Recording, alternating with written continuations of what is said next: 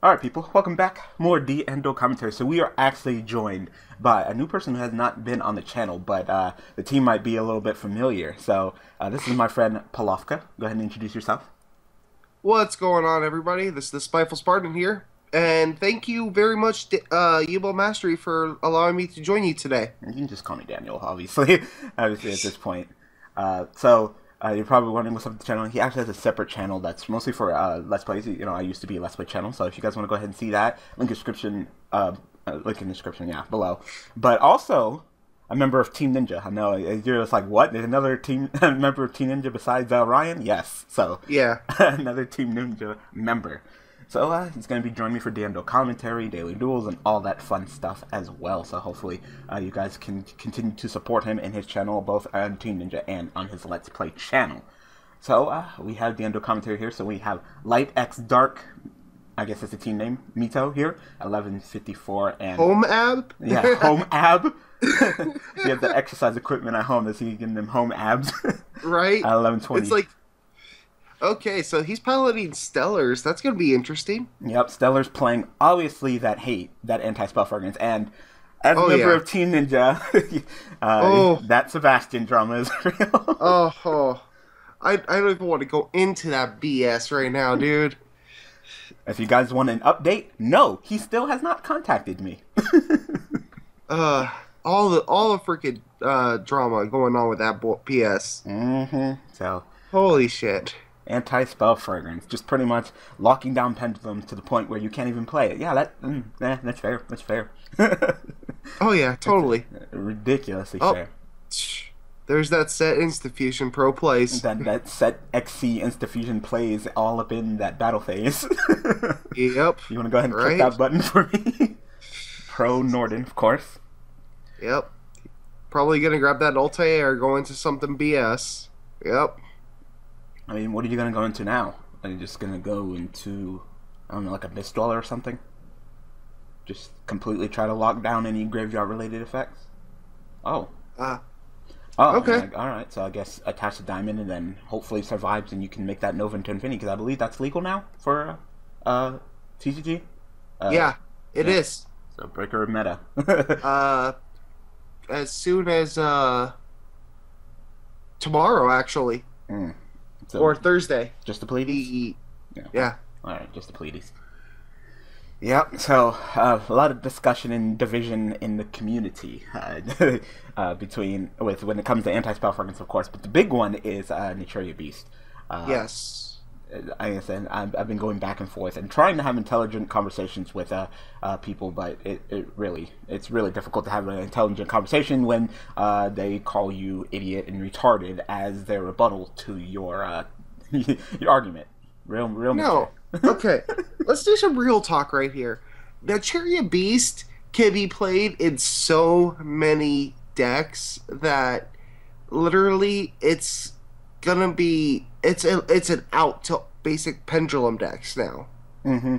Yeah, their and argument is like, oh well, it's kind of like you know anti Pepe, so it's a it's a it's a necessary evil to fight the Pepe. But no, Pepe, Pepe can play it. it. so it's not a necessary evil to Pepe, but it's just an evil to the whole game mechanic of pendulums in general, just like anti spell fragrance. Exactly. Wow, waste that Raigeki. Wasted, Shit. completely wasted. Like, look, look at this duel. Clearly, because anti-spell fragrance. Look, look, dark light, light dark over here. Mito can't even get into the duel. Uh, another one of the arguments they were arguing is that if there's so many answers to anti-spell fragrance and Naturia Beast that it shouldn't be a problem. So let me get this straight. In this game, in this game based on luck, it is your fault if you do not have the answers to handle the situation, huh? Exactly. I mean the answers to Nat Beast are what? Bottomless, Raigeki, Dark Hole. No, not Raigeki, not Dark Hole. Don't negate it. Oh, right, negated, right. Duh, herp derp. Uh, so basically, anything that could base just bounce it back. But if you don't have those cards, you're basically screwed. Pretty so, much. You can't yeah. set your pendulum scale, and their and their answer is pretty much like, oh, well, you can just make an Xyz like a one on one or Castel and handle it. How are you supposed to summon two monsters without being able to activate spells in a pendulum based deck? You better hope and pray that you have that card that he just summoned on the field right now, Hat Tricker, because it's literally Hat Tricker or bust. Yeah. And that's assuming that, including these hits to possibly uh, anti-spell rings and that the op- complete opposite, where there's nothing going to happen to the Performage engine, and you're going to be able to c- keep it as consistent as possible. Exactly. but the thing is, um, in my personal opinion, because I, I play lots of anti meta decks, um, Naturia Beast, that could go to. Uh, that can possibly get hit, and I can definitely see it getting hit. But anti spell fragrance, that is a card that could definitely stay at three, mainly because it has so many outs. I personally think that they're going to go ahead and limit it and put it in the same boat as those trap cards that lock things down in the same boat as Vanity, Skill Drain, Macro, Cosmos, in that boat. They don't have to go to the extremes of ban it, just lower the consistency of opening up with it, like what we clearly saw. Yeah. So I, I'd say probably limit it, but Beast has to go because you always have access to it in your extra deck.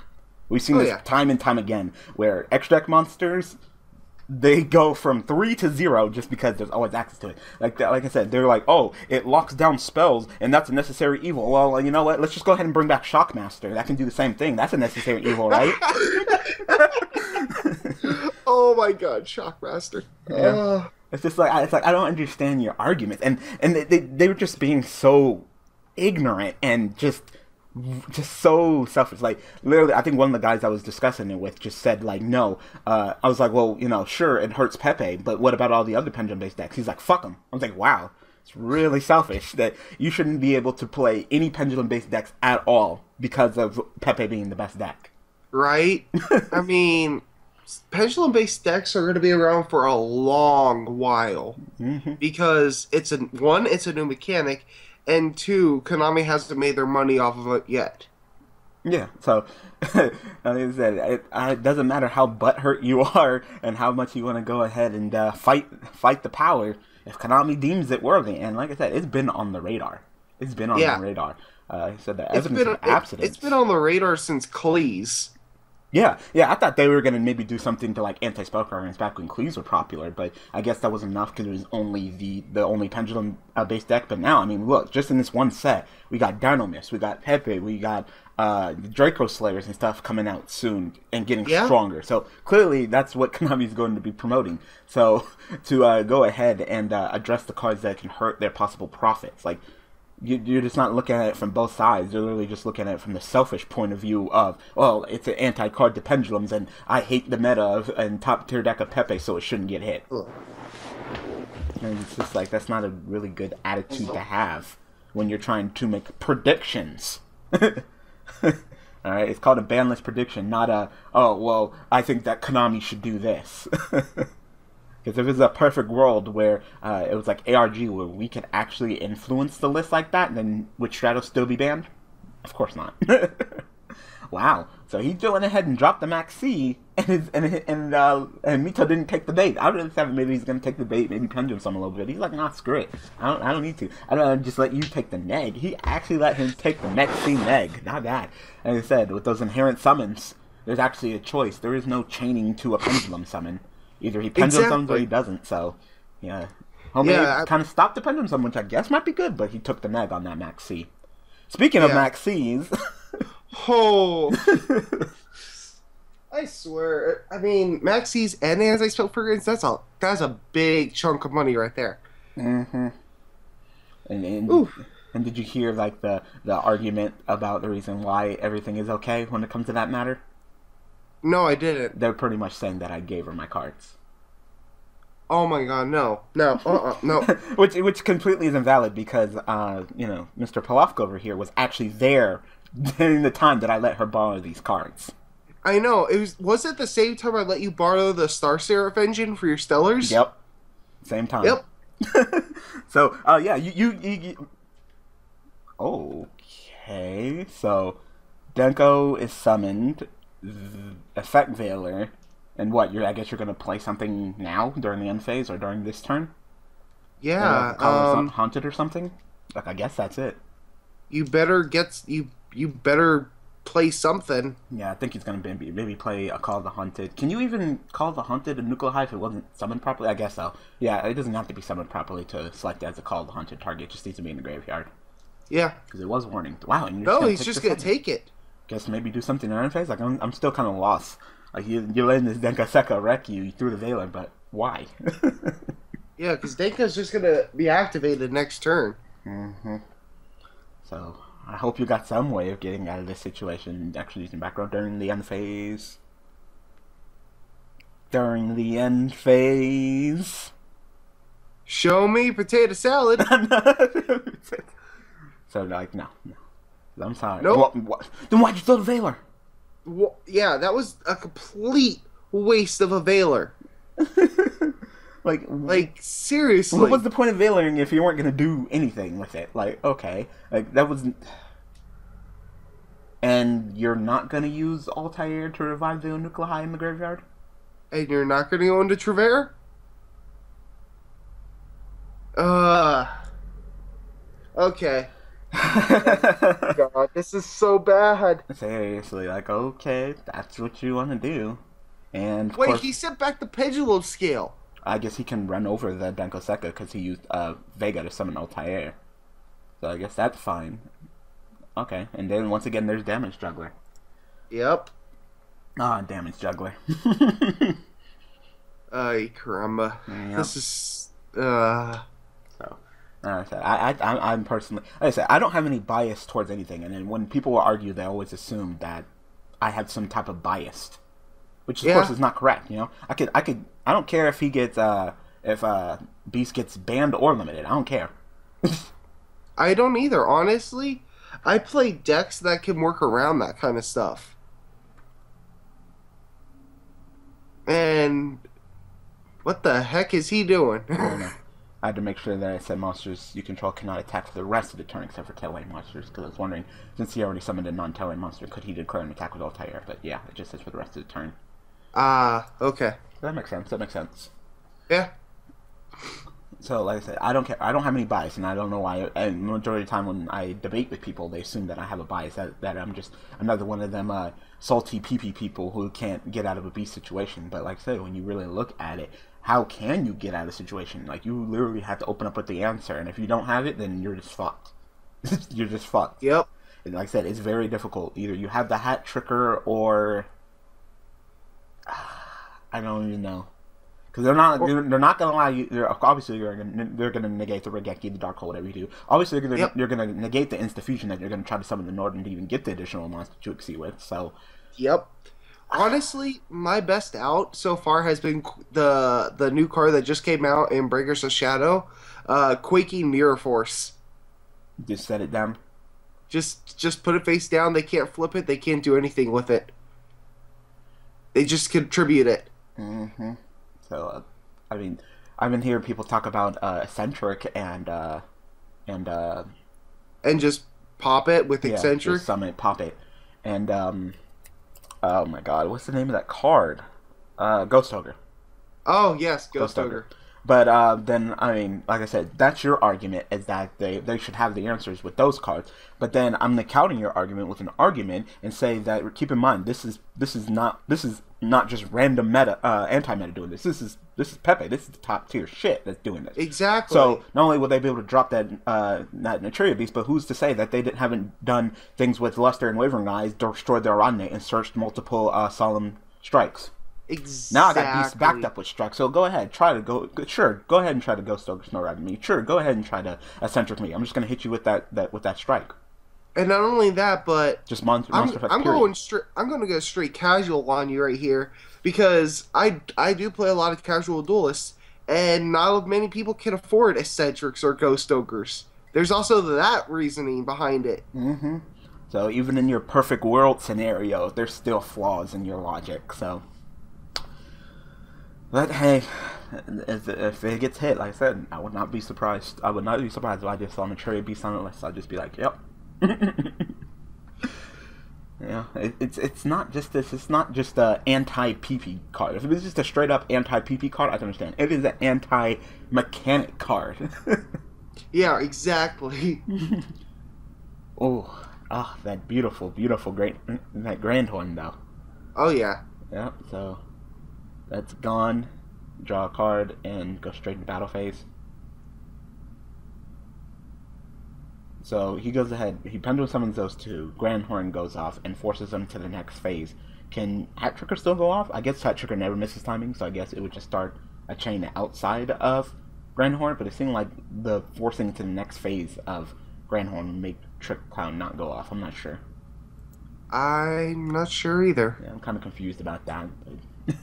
You know, there, there's the budget strike right there, Grand Horn. If you can't get your hands on some strikes, then at least you got Grand Horn. Exactly.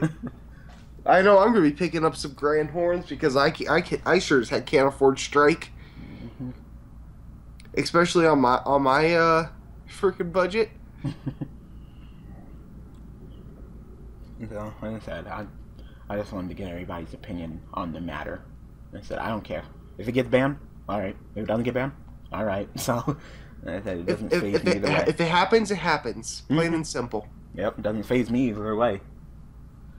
God. Like I said, we were just seeing a ton of cards that we should see on this upcoming list. Definitely. Oh, yeah. I think Oh, we, yeah. I think we saw at least at least three or four cards in this one duel that we should see in this upcoming list. Oh, smart. Go ahead and go into that dweller. Yep. So none of that uh, graveyard shenanigans for you anymore. I have no idea what kind of deck that uh, Nito's really playing. All right, seeing obviously that Gem Knight Garnet, so you can go ahead and set up uh, that uh, um, damage juggler trick clown plays. Yep. Yeah. Yep. Um. See a couple people saying that uh, Brilliant Fusion should be hit, but why address Brilliant Fusion when you could just address the cards that deal with Brilliant Fusion? Exactly. Addre- I mean, why? It's basically the same reasoning that why they uh, what you would call it, unbanned Snatch Steal, or banned Snatch Steal. Uh, it was, it, it was some BS reasoning behind yeah, I, that. I think I think DPY Joe Pro said that. Oh, Snatch Steal's not the problem. Hidden Armory is the problem. It's Like exactly. like no, Snatch Steal's the problem. No, it was definitely Snatch Steal. Snatch Steal was the problem. It was not Hidden Armory. You know, so uh, it's just like yeah, yeah. Let's go ahead and hit Brilliant Fusion for Gem Knight players when all we have to do is just hit the damage juggler. I mean, is really is anybody really going to go through the hoops of doing Brilliant Fusion if there's no damage juggler? Eh, I mean, if you want to send Trick Clown, that's cute. You know, yeah, send that Trick Clown. Yeah, that's cute. But like I said, all you need to do is just kill Trick Clown twice, and he doesn't do his shenanigans. And of course, unless you press the reset button with Norden, which Yep. is also a thing that should be addressed. So, mm-hmm. uh, yeah. So Trick Clown's not that bad when you don't have the damage juggler or the Norden to press the reset button on the Trick Clown. So, honestly, if Konami wanted to do something right, I could see Norden and Instant Fusion both going to one. I don't think you need to put both of them to one, just Insta Fusion. Because no one's going to play multiple Nordens if you only have one Insta Fusion. True, true. Yeah, one Instant Fusion. Yeah, one Insta Fusion. As I I don't think they have to go to the extremes of uh, banning Norden like they did in the in the OCG, especially if you go ahead and hit that Ptolemaeus. Oh yeah, Like, if you don't have access to the Infinity like that, then it's not as bad. Like, if you want to go ahead and get that additional play once, that's fine. And if you're playing like the Call of the Hunt and Revival anyway, then yeah, more power to you uh, along that lines as well. yep. But still, the consistency is lowered, so you can you can run all them Oasis and Call of the Hunt to try to abuse Norden as much as you want, but you only have one Insta Fusion, so your consistency of getting that playoff is even lowered then. Yep. Said it's just people don't see the multiple angles. You know what the sad thing is right now? Huh. He could bust out Beast right now if he wanted to. Yeah. he could. Yep, yep. Look at the consistency of that. You throw in a Hat Tricker, which can be searched. You throw in the King for a Limb, searching that uh, Palomaro, and then bam, right there. There you go. There's Beast right there. Yep. So, uh, said you, you argue that uh, Beast is the anti PP card, but PP brings it out arguably one of the most consistent ways. Another person was arguing like, oh well, we should keep Beast for his six samurais. Like, oh yeah, because that's totally, totally what Konami wants is for your non-profiting random ass six Hamras to be able to beat their best cash cow. smart. That's a smart business plan. I, I know, right? uh, I'm just glad Ghostricks are getting more support. They are. Yeah, Quaking Mirror Force is great support for Ghostricks. Oh. I, I thought you meant direct support. I was like, I haven't seen any new Ghost No, Trick cards. not- I thought Not they were direct support. There's just tons of indirect support. And there we go, people. So, uh, first duel kind of locked him down with the uh, with the anti spell fragrance and definitely gave him advantage. And you know, we I you know the, the crazy thing is, we didn't see Deneb this entire duel. Yeah, I just realized that. That's actually really interesting. No Denebs, no Trev, none of that. Literally It- just being able to abuse, use and abuse the rank fours with Norden and anti spell fragrance. And he had the option to go into Triv quite a bit. Yep, yep. Uh, and uh, while I, I can't say that Mito's pendulum-based deck or whatever angle he was going with was the best, but still, you know, the people argue that the the pendulum mechanic is unrivalable. We literally just saw Knights beat that beat that without even uh, going into their boss monsters. No Deneb, Yeah. No Rhoda, no Nova, no Skybridge, none of that. Yep. So, I, I think my point is proven. So, like I said, I, if you guys want to go ahead and tell me your opinion, like I said, I would like to have a, a debate with intelligent uh, uh, viewers, not just MegaCapitalG's calling me a retard. I, I, I, like, I, I didn't mudsling at you. I didn't call you salty uh, assholes anti-metas, no. But, you're gonna mudsling at me to try to uh, help your argument. It's just, it's just like the lowest form of debating, Oh yeah. attacking the the debater instead of the actual topic. So that's just one of the problems that I was having. So I said, tell me what you guys think. And like I said, is it an anti anti pendulum card? Yes, but like I said, it can go both ways. Uh, so go ahead and look at it from the angle of Konami's eyes. It's kind of hurting their profit. yeah, yeah. And this whole answer thing. I mean, we said the same thing about uh, the Jinlock, and where's that at?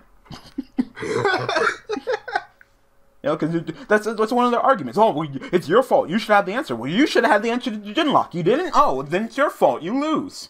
Exactly. it's like the Jin, the Jinlock. Good day, good sir. you get nothing. You lose. Good day, sir. Exactly. You fucked up. All right, so we're gonna go ahead and call this for a Dando commentary. Sorry, we kind of went on that tangent there, but you know, it's good to go ahead and actually talk with uh, an intelligent individual instead of just the ranters. so thank you, Mr. Uh, exactly. yeah, thank you, Mr. Polofka, for joining me. No problem. Thank you for allowing me to uh, be here today, and uh, to all of your viewers, I hope to uh, enliven you on some Let's Plays, and see you soon on my channel. Yep. So I'll link in the description. Go to the channel, hit the subscribe button. Uh, like I said, if you were a big fan of me when I was a Let's Player with the daily uploads of uh, of uh, Let's Plays, then you'll definitely like Mr. Polofka's channel because there is some daily uploads and actually uh, newer games, more relevant games, not just uh, the rogue things that I played. But uh, go ahead and name off some of the games that you're actually playing on your channel. Um, currently, we're doing a daily upload of Assassin's Creed Syndicate and a bi-daily upload of Rise of the Tomb Raider with Undertale and a few others just being finished. I'm going to be coming back soon with uh, Yu-Gi-Oh! Legacy of the Duelist GX season. So, you have that to look forward to. There you go, Um, people. Lots of games of uh, 2015, and of course, you know, uh, 2016 games when they come out as time progresses. So, uh, if you're looking for a good, consistent uh, upload uh, Let's Play channel uh, with some good, great gameplay, then go ahead and uh, hit that subscribe button. I know I already did. Uh, the description will they'll probably, I guess, upload on my channel soon. So uh, look forward to that as well. But this is just a nice, quick introduction to uh, have another Yu-Gi-Oh player and Let's player as well. So uh, yeah, thanks for uh, supporting him. No problem. And thank you for, once again, having me here. And I'd hope to see you all guys on the next video. All right, people. Uh, thanks for watching, and see you guys next week with some more DMD commentary.